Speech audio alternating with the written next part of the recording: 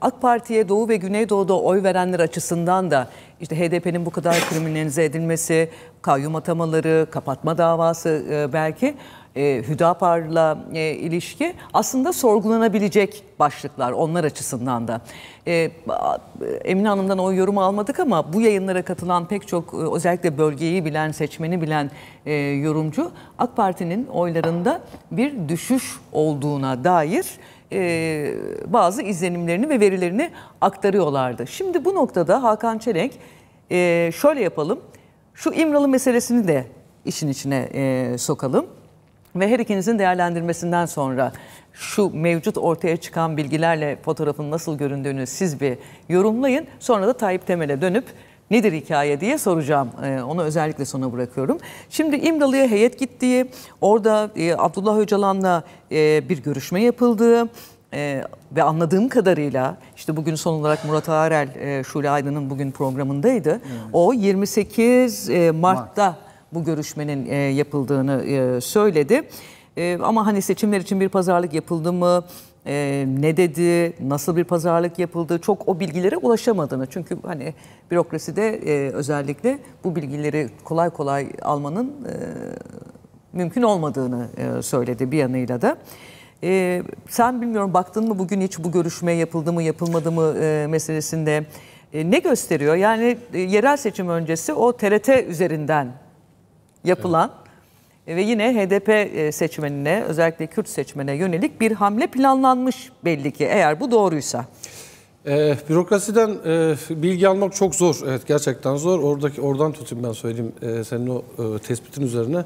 Bürokrasiden bilgi almanın zor olduğu zamanlar, iktidarın aleyhine bir durum olduğu zamanlar. İktidar bir şey bilinmesini istemiyorsa zordur. Bilinmesini istiyorsa 28 Mart'ta değil mi tarih? 28 Mart günü İmralı'nın ziyaretçi çetelesini görürdük biz. İşte bakın kimse gelmemiş. Hmm. Yani oturur yayınlar e, giren çıkanı her şeyi e, bürokrasi sizin önünüze dökerdi. E, buna bu e, derecede kuvvetli bir yalanlama yapma gücüne iktidar sahip. Bir güç de değil bu. Elinde veriler elinde e, defter var, ziyaretçi defteri var, imzalar var gösterirdi.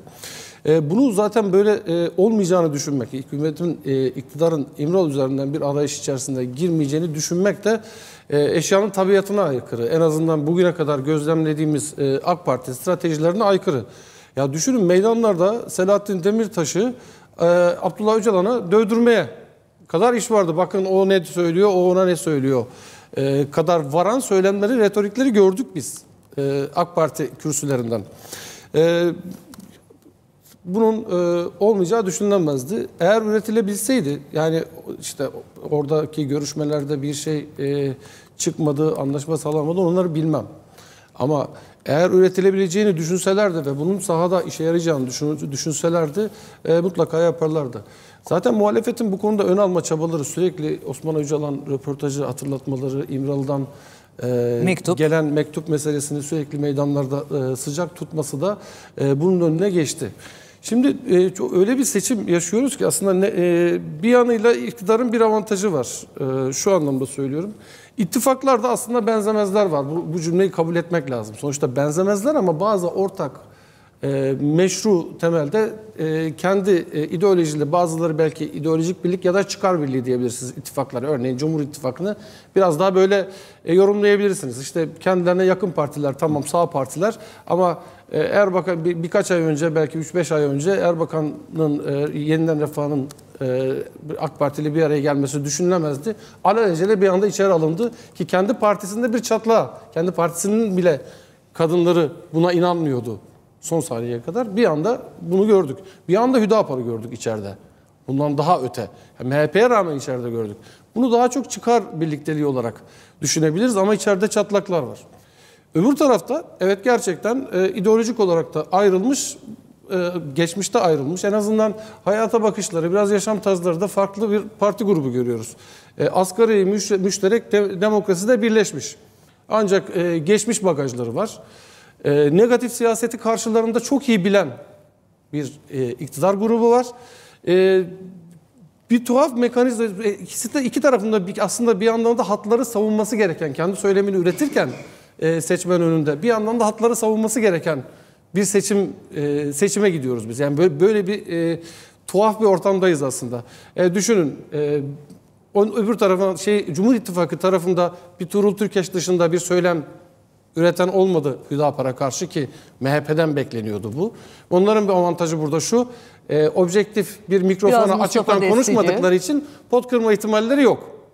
Ne yapacak? Negatif siyasetle siz bu tarafa e, yürüyeceksiniz. Nedir? HDP resmi olarak ittifakın içinde olmasa bile HDP bagajı yükleyip e, bunun üzerinden e, en azından içeride bir kırıl, kırılma yatma, e, kırılma yaratmak üzerinde kurulu bir strateji ya da e, aile ki düşünün bunun anayasa e, taslağı bile ortaya çıktı.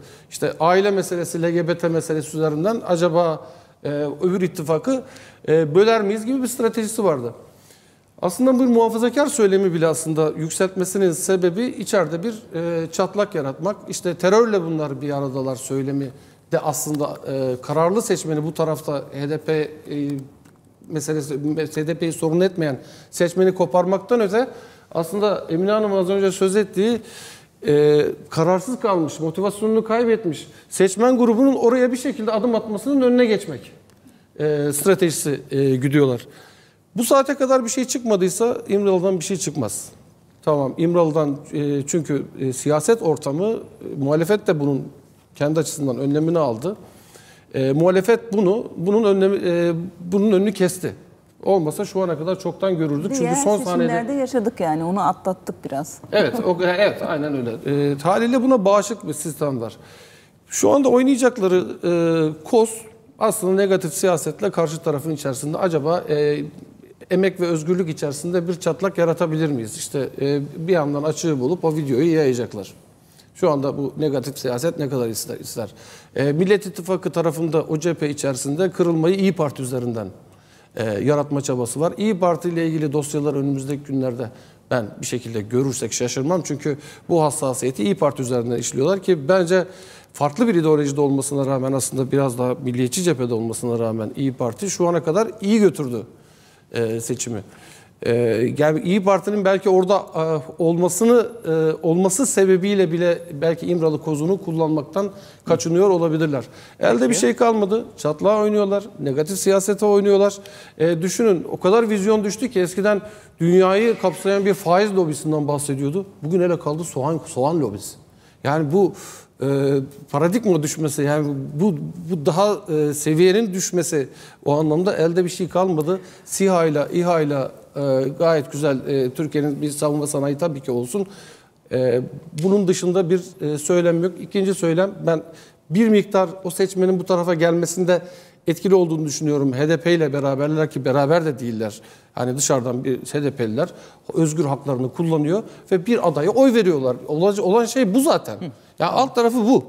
Ve bunun üzerinden bir e, retorik üretmeye çalışıyorlar. Bence Tayyip Bey e, belki biraz sonra buna değinecektir. Aslında büyük görevde burada HDP'ye düşüyor. Bu anlamda e, HDP'nin sahada e, izleyeceği yol e, belki de e, Millet İttifakı ya da Kılıçdaroğlu'nun alacağı e, oyu e, ekstra fazladan oyları etkileyecektir. Bence her tarafın o negatif Tamamlayalım. siyasetin dışında bir çareleri yok.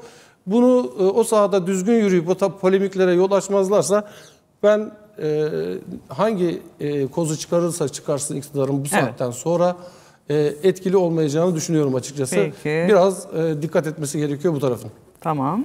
Yerel seçim öncesinde işte e, TRT'deki röportaj, mektubun yayınlanması hep mesela yanlış adımdı ve yerel seçim sonuçları itibariyle de yanlış olduğu çok net görüldü.